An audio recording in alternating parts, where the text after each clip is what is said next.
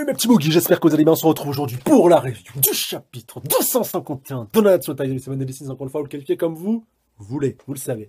Encore une fois, j'espère que du lourd. De toute façon, vous aussi, vous le voyez dans le titre. Moi, voilà, vous, vous savez des choses que moi, je ne sais pas encore. S'il y a que du lourd 6 dans, le titre de chapitre, c'est que c'est forcément un chapitre de ouf. Si ça y est pas, c'est qu'il est un petit peu osef, mais il y a très peu de chances que ça arrive. Je pourrais être tout à fait franc avec toi. J'ai un peu hésité la semaine dernière, tu vois. Est-ce que c'était un chapitre de transition? Il y avait du bon, il y avait même du très bon, mais il y avait pas y avait pratiquement pas du ouf, tu vois. À une exception près, franchement, si j'ai mis que du lourd la, semaine dernière, c'était euh, pour l'attaque de Zeldris, qui était juste euh, magistrale et auquel on s'attendait pas spécialement, tu vois. En tout cas, pas, pas aussi vite, tu vois. C'est juste à cause de ça et aussi la, la petite fin avec Elisabeth, qui euh, continue de faire des grandes déclarations. Donc, avant de rentrer dans le vif du sujet, on va reprendre, comme toujours, pêle-mêle, comme toujours, un timecoder en, en commentaire épinglé si tu veux passer directement au chapitre. Mais quoi qu'il en soit, avant, on va reprendre pêle-mêle ce que vous nous avez euh, laissé dans, les petits commentaires, à vos petits com. Alors, ça a pas mal tourné par rapport à Elisabeth et beaucoup sont déçus, beaucoup la traitent, euh, ouais, elle pense qu'à sa gueule euh, par rapport à la malédiction, mais ça se fait trop pas, quoi. Ouais, oui, oui, oui, on peut comprendre, mais ça aurait aucun foutu intérêt si Méliona c'était le seul à vouloir faire changer les choses. Faut, faut comprendre aussi, encore une fois, c'est logique scénaristique, tu vois, c'est quelque chose un petit peu, c'est une condition sine qua non pour que ce que Méliona a envie d'entreprendre soit valide, tu vois, et quelque part, n'importe qui, pour son aimé, serait prêt à tenter le tout pour le tout, pour ne, pas qu'il se fasse du mal et pour ne pas qu'il vende littéralement son âme au diable. Voilà, il faut aussi prendre cette genre de perspective et poser le pour et le contre. Voilà, c'est important aussi. Même si pour moi la solution d'Elisabeth n'est pas une solution, hein, je ne suis pas en train de, prendre son parti.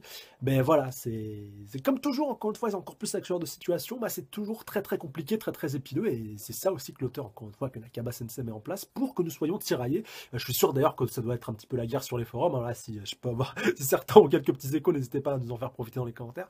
Mais il doit y avoir les pro Meliodas, les pro Elisabeth, euh, voilà, de, chaque côté, et ça aussi, c'est des perspectives qui sont assez cool.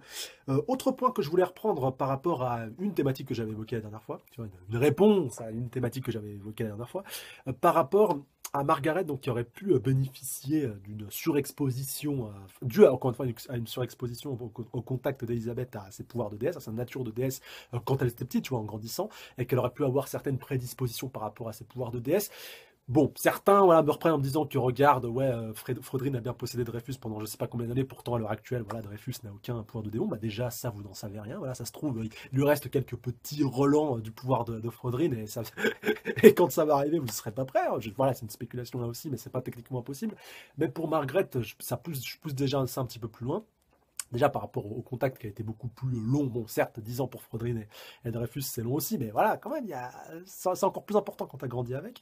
Euh, pour Margaret on connaît pas non plus les origines de sa mère, tout comme pour Véronica d'ailleurs, mais pour Margaret c'est encore plus, euh, encore plus particulier, donc peut-être que là aussi encore une fois il y a eu Anguille sous roche, où il y a eu euh, quelques petites, petites manipulations, qui a eu quelque chose qu'on ne sait pas forcément, donc voilà, là aussi encore une fois il faut être très très prudent. Et surtout qui te dit que ce qui marche pour les démons est forcément vrai pour les déesses? Bah absolument rien. Donc de pas trop s'avancer par, rapport à ce genre de thématique. Je dis ça pour vous et je dis aussi ça pour moi, voilà, je leur, précise aussi. Mais voilà, ne prenez pas pour acquis une situation, enfin, c'est surtout le, parallèle, tu vois, de, Dreyfus Frodrine avec Margaret de Chal. Alors certes, oui, c'est on peut faire un parallèle, oui, il y a une possession, oui, d'un côté démon et de l'autre côté un commandant, mais déjà, Frodrine n'était pas un commandement, important à préciser, contrairement à Drio de Chef qui lui est bien un arcoge et qui a un pouvoir beaucoup plus important. Donc voilà, vous emballez pas trop. Euh, chacun, encore une fois, est différent. C'est deux, euh, deux, races différentes. Voilà, c'est deux races qui, que pratiquement tout rapproche à la fois que tout oppose. Donc il faut euh, pas trop s'emballer non plus par rapport à ce genre de, de petites thématiques. Je voulais remercier Vince Drake qui, voilà, au moins, tu vois, des fois quand je pose des petites questions comme ça ou des petites, pour des petites anecdotes, et bah voilà, certains répondent et ça fait bien plaisir par rapport à l'identité des quatre archanges, donc dans la dans la religion chrétienne, si je dis pas de bêtises, eh ben, on a Michel, on a Raphaël, on a Gabriel et on a Lucifer, donc qui a été euh, déchu par la suite. Je viens de penser que c'est presque comme les Tortues Ninja, tu vois, si ça s'était fait, même si voilà, je sais que les Tortues Ninja c'est plus par rapport aux quatre peintres, mais voilà, regarde, on a voilà pour Michel, bah Michel-Ange, tu vois, Michelangelo, ça marche. Raphaël, Raffaello, voilà, Raphaël le peintre. Et c'est dommage que pour Gabriel et Lucifer, bah on n'ait pas eu euh, Leonardo et euh, et Donatello, tu vois, sinon ça aurait pu marcher, tu vois. Ça marche pour la moitié, c'est dommage, tu vois, l'ironie de l'histoire aurait pu être très très belle s'il y avait eu euh, d'autres grands artistes à l'époque de la Renaissance qui s'étaient nommés, euh, bon peut-être pas Lucifer, tu vois, ou une, artiste qui aurait été euh, une fille, tu vois, Lucie, ça aurait pu être cool, ou, un Gabriel aussi, voilà, qui, après, tu me diras, Gabriel, a une importance encore plus particulière, c'était pas un prénom qui, qui, se donnait beaucoup, mais pourquoi pas, voilà, bref, pour la, pour la petite anecdote, je voulais souligner ce, petit point-là, c'était assez mignon. Du coup, d'autres petits points que vous avez évoqués, L'autre petite anecdote que j'avais soulignée, ça je suis bien content que certains l'aient repéré, notamment gros big up à toi, Alassane, par rapport au fameux fuis, accroche-toi à la vie, et lorsque tu auras le même regard que moi, viens à moi best punch to manga ever. Voilà, best, best punchline. Tu peux pas, t'as pas, t'as pas au-dessus. Franchement, je me mets au défi. Bah, bah peut-être que, y en a, si tu vois, là, je te dis ça parce que c'est la première qui me vient à l'esprit et qu'elle est vraiment très très forte. Dans ce il y en a même une autre dans ce manga-là qui est aussi, qui est encore plus, encore plus puissante que celle-là. Mais voilà, mettez-vous, mettez-moi dans les commentaires pour vous les plus grosses punchlines que vous avez eu euh, dans les mangas. Parce que franchement, là aussi, euh, il y en a et pour le coup, bah, on pourra peut-être faire un petit concours, peut-être même que j'en ferai une vidéo. Enfin voilà, allez-y. Là, là, c'est du freestyle. Je viens d'y penser, je viens d'y lâcher. Allez, c'est bon coup. Lâchez-vous dans les commentaires et peut-être que pour le coup, il y aura, des bonnes punches qui vont revenir. Du coup, d'autres petits euh, points que vous aviez évoqués. Et on va terminer avec ça, c'est bien entendu à tous les points pour lesquels ceux qui suivent uniquement l'animé ne, sont pas prêts. Enfin voilà, on a vraiment un bon gros pack de famille. D'ailleurs, je reprécise ici, même si bon, on a vu tout ce que j'ai évoqué au début, vous vous êtes fait avoir. Enfin, c'était pas fait exprès. J'espère vraiment qu'il y a personne qui mate uniquement que l'animé qui est venu voir, cette vidéo. Mais voilà, de toute façon, je merde, hein, je l'ai mis dans le kit, j'ai mis chapitre. Donc, quoi, faites, faites pas chier. Mais c'est vrai qu'encore une fois, voilà, il y a vraiment du, euh, du, très, très, très, très lourd à venir en perspective. Après, encore une fois, on sait pas quand, euh, quand ça s'arrêtera. Même pour la saison 3, tu vois, si ça s'arrête effectivement la mort de Meliodas durant le de Weisel, ils peuvent pas terminer mieux que ça. Mais voilà, franchement, ça donne plein de bonnes perspectives euh, pour la suite et ça va être forcément du très très lourd. Et du coup, on va passer au chapitre d'aujourd'hui. C'est parti. Et du coup, j'ai décidé d'opter pour une petite review semi-live des familles. Euh, même s'il se passe pas des masses de choses au début, que je suis un petit peu sur ma fin pour l'instant. Là, on verra bien comment ça évoluera par la suite. Mais grosso merdo, le message du début, de toute façon, voilà, je ne pourrai pas faire 107 ans là-dessus, mais c'est important quand même. Euh, le retour à Lyonès, le retour des chevaliers sacrés à Lyonès. Donc, euh, Zeldris qui a tenu sa parole, qui les a ramenés, qui les a désenvoûtés. Donc, ça, c'est important aussi pour le coup. Maintenant, Camelot va pouvoir être prêt à la, taille finale et à la grande guerre sainte qui va se, se profiler à l'horizon. Et surtout, bah, nos ils sont aussi rentrés dans la foulée, même si, à et merci d'ailleurs. Bah, Mélodas est toujours présent à Camelot, bien entendu, alors c'est pourquoi. Euh, Ban est allé retrouver Elaine, donc voilà, forcément, quand on voit toujours cette situation assez compliquée qui forcément bah, va être amenée aussi à encore plus se complexifier, vu que bah, bah, aux dernières nouvelles, Zeldris a toujours récupéré Meraskila et s'il décide de récupérer son commandement et de la la, de la, terminer, forcément, encore une fois, bah, Elaine disparaîtra. D'ailleurs, je pense qu'on aura un chapitre qui abordera spécifiquement cette thématique dans quelques temps. En tout cas, ça m'étonnerait pas. Et euh, ce qui du coup bah, aussi Ban à trouver une, autre méthode, ce coup-ci euh, viable, euh, sur du très très long terme pour me ramener, pour ramener Elaine. On verra bien. Peut-être que d'ailleurs ça aura aussi un lien avec, avec les DS et peut-être qu'Elisabeth pourra peut-être faire quelque chose. Donc on verra bien avec, avec tous ces pouvoirs de DS qu'elle a retrouvés, même si bon, elle a d'autres chats fouettés, on commence déjà à le percevoir aussi dans ce chapitre. Ban, donc comme je vous l'ai dit, et Gaozer aussi qui est dans un très très sale état. Bon là aussi encore une fois, forcément, c'est plutôt compliqué à gérer pour, pour Merlin. Voilà, qu'on fasse sous contrôle, mais méfiat quand même. Toujours, euh, pareil avec Gaozer, d'ailleurs on l'a bien revu dans, dans l'animé il n'y a pas si longtemps que ça. Donc pas mal de bonnes petites thématiques intéressantes, même si forcément tout le monde n'est pas présent. Et nos petits chevaliers sacrés sont revenus, donc ouais, Gaozer, même si on n'a pas vu Hendrickson et puis euh, Dreyfus, bon quelque part heureusement. Et euh, que Thunder est venu avec Margaret, et derrière bien entendu, on a euh, Samiel et puis Tariel, si je dis pas de bêtises. Tarmiel et puis Sariel, si je dis pas de bêtises, ou alors si je me suis gouré, certains me, corrigeront dans les commentaires. Et pour le coup, bien entendu, Elisabeth qui a capté que c'était Rio Dochel qui avait pris possession de Margaret, voilà, au moment où vous deviez avoir une petite conversation entre les deux. Et euh, forcément, encore une fois, bah, ça va amener à quelque chose de très intéressant. De toute façon, tu, y vois dès, le début avec euh, Elisabeth qui dit oh, non, non, n'approchez pas, tac, tac et tout. Donc, on va voir tout ça tout de suite. C'est parti, live action. Et du coup, on est parti pour cette petite live action. Donc, quoi, pour, euh, pour reprendre, donc oui, c'est bien Sariel et Tarmiel. je m'étais pas gouré, donc comme quoi c'est bien. Même s'ils sont encore sur leur apparence humaine, mais voilà, on a appris leur vraie nature il n'y a pas si longtemps que ça. Je check juste vite fait combien de pages on a avant la fin du chapitre, comme ça je suis prêt. Ouais, page 20. Ah, quand même, quand même, quand même, ça va arriver assez vite cette affaire. Alors, on va voir, et du coup les trois sont là. Ce n'est pas ma sœur Margaret. Eh ouais, Elisabeth, qu'es-tu en train de dire? Pour être plus précise, quelqu'un d'autre contrôle le corps de Margaret. Donc je pensais pas déjà que ce poteau serait dévoilé aussitôt, surtout maintenant, bonne info. Alors comme comme mon appétit prend le dessus sur moi, euh, non, je ne crois pas. c'est bien, c'est Scanner qui dit ça, tu vois. lui aussi, même si c'est tout le temps la même personne, on a, des fois l'impression qu'il, bah, il change un petit peu de personnalité de toute façon en fonction de, de sa puissance. Tiens, tiens, cela fait bien longtemps, Elisabeth. On dirait que la malédiction de renaissance perpétuelle que ta mère, la déité suprême, a jetée sur toi est toujours d'actualité. Bah, c'est aussi ta mère à toi aussi, Rio de non? Non, c'est juste, une création? Bah alors là, pour le coup, le mystère s'épaissit. Alors, je m'en doutais, c'est vous. Mais alors, ce n'est pas du tout Margaret. Dans ce cas, qui êtes-vous? Eh ouais, elle va révéler, enfin, il va révéler sa vraie nature. Je suis l'un des quatre archanges du clan des déesses. Pareil, Tarmiel, Rio de ça vaut aussi pour moi. Sariel, bah voilà, tu vois. J'aime bien avec leur regard aussi qui revient. Et forcément, bah, ils vont essayer de les avoir pour, eux. Ah ouais, ils ont. Attends, Est-ce que... Non, putain, j'ai cru pendant un temps qu'ils avaient repris véritablement leur vraie apparence. En fait, non, c'est juste pour, bien te remettre dans le bain, histoire que tu n'oublies pas, tu vois. Même si, voilà, ils peuvent faire sortir leurs ailes véritablement. Alors, Ryu Doshel, ce, ce méga empaffé du clan EDS, et bah oui, forcément, ça leur parle à Diane King avec le flashback. Et là, il a pris possession de la princesse Margaret, incroyable. Ils ont fait pousser des ailes. Ouais, ils, ont, ils se sont fait pousser des ailes, même ils ont vraiment. Ils ont bien dit le clan des déesses, cette divinité suprême. Et ouais, et forcément, on voit Merlin aussi qui voit un petit peu tout ça. C'est la même chose. Comme cette fois-là, avec Denzel. Et oui, bah, bien entendu, il se rappelle que Denzel avait un Aerobasta, il avait réussi à la capturer. Du moins, il pouvait s'en servir un petit peu à sa guise, même si voilà, on ne connaît pas tous les antécédents par rapport à cette thématique-là. Que comptez-vous faire de Margaret, de ma fille? Rendez-la-moi immédiatement. Margaret m'a offert son corps de sa propre volonté. Son père ne tiendrait-il donc pas compte de la décision de sa fille. Votre Majesté, ne vous inquiétez pas. Et voilà, Hendrickson. Tant que le seigneur Yodeshal habite son corps, vous pouvez être sûr qu'il n'arrivera rien à Margaret. Hmm, oui, mais... ouais, mais c'est pas aussi simple. Ah, sacré Hendrickson. Et du coup, voilà, bah, lui aussi qui, qui, ressort. Même une attaque comme celle de Zeldris des 10 commandements n'est rien face au seigneur Rio de Shell. Et plus important, ouh, avec un petit vrombissement, et d'ailleurs Dreyfus est là aussi, lorsque la guerre sainte reprendra de nouveau le pouvoir des quatre archanges sera un atout essentiel. Alors je vous en prie, essayez de comprendre, alors que lui s'est servi du pouvoir de démon, voilà, sans aucune vergogne, sans aucune retenue. Viens par là, Andy. Donc voilà, Dreyfus qui l'a chopé. Qu'est-ce qui fabrique bon sang, Dreyfus? Ça fait mal oui, c'est la raison pour laquelle vous êtes tous venus ici, n'est-ce pas? Précisément en vue de cette future guerre, et surtout, bah, ils veulent voilà, pouvoir fédérer. quoi de mieux que, de le faire maintenant, tu vois, avec le, retour de tous les chevaliers sacrés en même temps, que de, fédérer tout ça, et, qui pour le coup, pour eux, bah, reprendre encore le commandement des, euh, des chevaliers sacrés, tu vois, d'être à leur tête. Pour nous préparer à mener cette violente bataille contre le clan des démons, nous allons conclure un pacte avec le royaume des hommes. Faire appel à la force des chevaliers saints du royaume, ainsi que, donc voilà, c'est confirmé, ainsi que celle des, des sept péchés capitaux, et ouais, forcément des Taizai.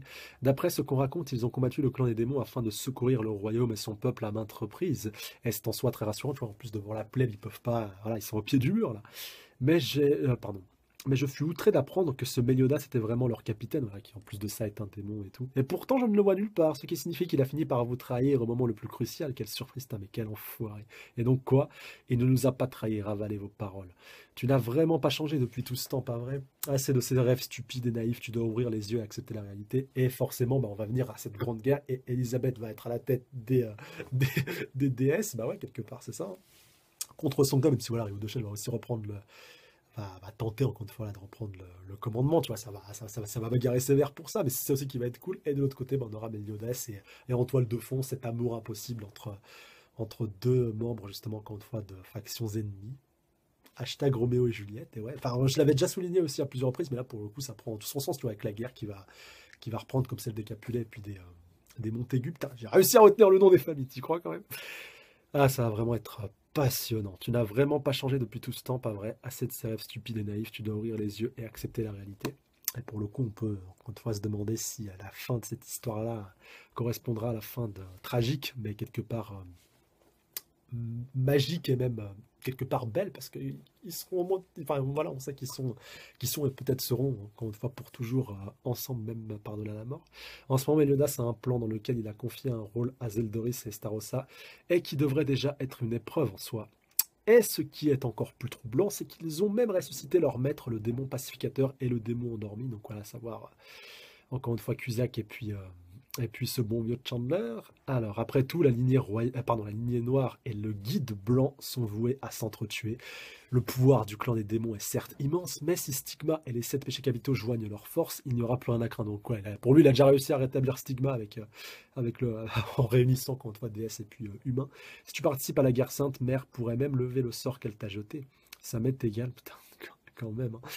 Quand même, cela reste une très bonne opportunité pour toi, voilà, comme le précise le, le précise et le pense aussi Sariel et puis Tarniel. Mais l'objectif est d'arrêter Meliodas, pas de le tuer. Mais, que, ah, attends, mais ce que vous dites est vrai. Notre seule puissance n'est pas suffisante pour rivaliser avec celle de Meliodas et ses confrères démons. Et du coup, elle va prendre la tête malgré elle, même si, euh, quelque part, voilà, c'est, ça fait aussi sens, tu vois, encore une fois, ce que je vous disais tout à l'heure, par rapport au fait, voilà, les ennemis, ça se perd pas de vue, les, voilà, pardon, les amis, ça se perd pas de vue, les ennemis encore moins. Et pour le coup, bah, elle pourra au mieux, encore une fois, gérer ce futur affrontement en étant et en prenant, encore une fois, la tête de cette armée-là. Elisabeth, alors ce sort en l'état actuel des choses, c'est toi notre capitaine, donc quelle que soit ta décision, nous te suivrons. Et ouais, forcément. Alors pour Arthur, je suis vraiment curieux de voir quel positionnement il va décider de prendre, vu qu'il est toujours à Camelot. Alors c'est décidé. Au nom de la déité suprême, approche Elisabeth. Alors qu'est-ce que va lui faire Rio de Chien? On va voir. Est-ce qu'il va la douber ou est-ce qu'il va lever la malédiction? Au nom de ceux que j'aime. Ah non, ouais, en fait, ils vont, unir, ils vont leurs forces, peut-être faire un pacte, un pacte de déesse, je pense, très certainement, on va voir. Alors, ou alors une sorte de serment. Ici et maintenant. Alors attends, petite question le coin des questions-réponses. Alors, question d'Escanor, donc. Ah, une question d'Arabie Saoudite, pardon, d'Escagator, autant pour moi. Alors, bah, c'est bien déjà qu'il répondent des questions qui viennent de si loin. Quand Zaratras a été tué, où se trouvait Denzel? Alors, il était sur une autre mission loin de Lyonesse. Ah, bah oui, c'est vrai, que forcément, quand une fois, lui aussi était puissant, qu'il aurait pu justement compenser, tu vois, en tant que chef de la Pléiade du Célestia. Donc, très très bonne question et très bonne réponse, encore une fois, bah, même si voilà, elle était un petit peu logique aussi, tu vois, mais c'est bien, moi, d'avoir la confirmation de l'auteur. Alors, les sept péchés capitaux et stigma forment un pacte d'alliance. Et Méliodas, au loin, qui va tout ça. Putain, ce plan final, qu'est-ce qu'il est badass. Je kiffe Méliodas avec cette apparence-là. Il est vraiment trop classe. Péché et cicatrices s'entrecroisent. Leur sainte lumière parvient jusqu'aux yeux du chef des ténèbres. Putain, mais cette suite va tellement être malaise. Bon, eh ben, vous savez quoi? Voilà, ben, au moins pour ceux qui ont maté la review jusqu'à la fin, je vous laisse choisir. Est-ce que je mets que du lourd 6 pour ce chapitre ou pas? Parce qu'il y a quand même des bonnes choses, même si, voilà, pour moi, pour qu'il y ait un que du lourd, il faut, une bonne dose d'action, mais il y a quand même eu euh, pas mal de, bons petits points, et notamment cette euh, alliance que j'aurais cru vraiment impossible avant le début du chapitre. Donc voilà, c'est vous qui allez, euh, qui allez trancher. Vous me dites dans les commentaires, voilà, bon, vous réagissez au chapitre, mais vous me dites un petit peu avant si pour vous, ce chapitre mérite que l'on appelle que du lourd 6 ou pas. Je vous laisse trancher. Et donc à suivre dans le chapitre 252, Destinée, nous étions tous les destinés. Putain, désolé, elle est toute seule celle-là. Pourtant qu'il y en a d'autres des destinés, hein, tu vois. Alors, et attends, petite, euh, petite note de fin quand même. Bien que leurs croyances diffèrent, leur force reste réelle, un pacte est formé avec les quatre archanges dont la cible n'est autre que Méliodas. Et euh, du coup, bon, quand même, pour, clôturer cette review et quand même voilà, être un minimum objectif, tu vois, et, oublier, et n'occulter aucun point important, euh, il, reste encore une fois des thématiques relativement intéressantes par rapport au positionnement de certains persos. J'ai déjà évoqué le cas d'Arthur, qui est quand même aussi euh, important, il ne faut pas l'évoquer, on le verra en temps et en heure, même si je pense qu'il va avoir le cul entre deux chaises tout au long de cet affrontement, à l'image peut-être de sa filiation euh, paternelle et, maternelle, on verra bien. Ah là, on verra bien pour le coup, mais c'est bien justement, encore une fois, qu'on ne sache pas encore une fois quelle partie il a, clairement pris, même si pour l'instant, il y a très forte chance qu'il euh, prenne le parti des chevaliers sacrés et puis de, stigma, hein, voilà, ça fait sens.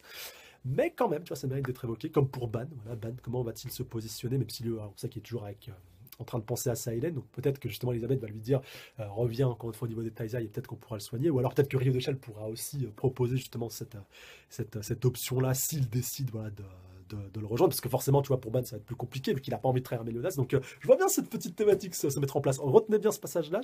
Je suis pratiquement certain qu'à un moment donné, la question va se poser pour, pour Ban, tu vois, encore plus avec son immortalité et tout, et les points qui, qui pourrait apporter à cette alliance.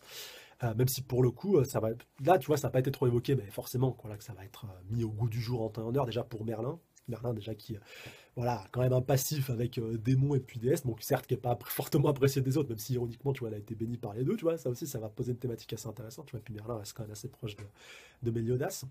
ça va être aussi intéressant forcément pour Diane et King qui connaissent la vraie nature de, de de donc on verra bien. Tu vois, pas pour tous les, pour tous les Taizai, pardon, aussi, ça va être compliqué, tu vois, même si les scanners, voilà, lui, va suivre le mouvement par rapport par rapport à Merlin, ça aussi, je me fais pas trop de soucis, mais tu vois, voilà, il y a pas mal de, petites ambivalences qui vont être assez intéressantes, même si pour l'instant, voilà, eux, ils l'ont tous décidé, décidé et déclaré d'une même voix, euh, qui seront derrière Elisabeth. Mais bon, on verra bien comment tout ça évoluera par la suite, tout en sachant qu'on a, toujours Ban et puis euh, surtout Gaozer. C'est Gaozer là qui va être le cas le plus intéressant, vu qu'à la base, lui, il est euh, un commandement, du moins, voilà, c'est vrai. le corps originel de Gaozer était un commandement, mais euh, voilà, quelque part, il a été un petit peu transmis. Et lui aussi, euh, à un moment donné dans l'histoire, rappelez-vous encore une fois ce grand flashback quand Mayona était la tête des commandements, c'était peut-être la marionnette de Gaozer, mais c'était quand même Gaozer. Voilà, c'est important aussi de, d'évoquer ces, euh, petites thématiques-là, tu vois, même si le corps originel était encore vivant à l'époque, mais voilà, quoi, c'est, ça va être assez intéressant justement de voir comment ça va, se positionner, tout comme ce que Merlin justement est en train d'entreprendre avec lui. Voilà, ça, ça va pas être tout blanc, tout rose, il y aura des alliés dans les deux camps, déjà, bah, ne serait-ce que pour le clan des démons, voilà, c'est, les frangins, ils ont qu'une, envie, bah, c'est de reprendre le leadership à alors capitaine, tu vois, encore une fois, tout simplement. Et euh, bah, de l'autre côté, encore une fois, bah, ça va toujours euh, être un petit peu compliqué aussi du côté de, d'Elisabeth et puis de, Rio de Chalmé. Pour le coup, tu vois, c'est une métaphore, encore une fois, de, de ce qui peut se passer encore une fois en général en temps de guerre. Mais pour le coup, c'est vraiment représentatif, tu vois. Il n'y a aucun camp qui, pour le coup, n'est clairement, encore une fois, euh, parfait ou pour lequel il faut soutenir à, à, 100%. Tu vois, c'est pas les gentils contre les méchants, même, contre les méchants, même si ironiquement, tu vois, ça serait plus les déesses, les gentils, et puis les démons, les méchants. Mais voilà, on se rend compte, vu que justement, tu vois, c'est ça qui, qui, est super intéressant, c'est tout ce passif, tout ce développement qu'on a eu avant justement d'arriver à ce point précis, qui nous permet clairement de comprendre que voilà, il n'y a, y a aucun clan, encore une fois, qu'il faut spécialement, encore une fois, soutenir. Et que pour le coup, bah, il y a, des, y a des, bonnes personnes, encore une fois, dans, chaque faction. Et ça, pour le coup, bah, ça va être très intéressant à voir en temps et en heure par la suite, et encore plus avec les deux leaders, justement, de, ces deux factions, qui en plus sont les héritiers de leurs deux clans, tu vois, ironiquement. Pour le coup, on va bien kiffer, euh, comme jamais, encore une fois, dans les premiers chapitres, et voilà, on n'est pas prêt. Et pour le coup, en animé, bah, encore moins, tu vois. Même si en animé, il y a encore d'autres bonnes, grandes, il y a d'autres bonnes et grandes échéances à venir avant. En tout cas, moi, j'espère que ce chapitre vous aura plu. N'hésitez pas à réagir dans les commentaires, balancer toutes vos réactions, vos avis et vos théories. Vraiment, ça me fait super plaisir. En plus, même au niveau des, euh, des vues, vous êtes de plus, de plus en plus nombreux justement à être présents. Ça me fait vraiment super plaisir. Donc, continuez de vous lâcher. Euh, abonnez-vous si ce n'est pas déjà fait. Activez la cloche de notification et, et tutti quanti. Voilà, comme j'aime bien le président, on va terminer sur cette note-là. Et surtout, bah, restez connectés parce qu'on attend encore du très très lourd. Même si voilà, j'ai déjà sorti beaucoup de reviews aujourd'hui. Je crois que c'est déjà la, sixième, enfin cinquième ou sixième. Et euh, dans cinquième, si je dis pas de bêtises. Et on attend aussi euh, du Dick encore une fois, euh, peut-être dans la soirée. Donc voilà, restez connectés. Comme toujours, du très très lourd. Et ça s'arrête jamais, de toute façon, sur la chaîne. Et sur ce, je vous dis avec beaucoup d'impatience à la semaine prochaine et un petit peu avant, donc samedi pour votre petit épisode des familles. Et d'ici là, bah, prenez soin de vous. Salut à tous, une bonne semaine. là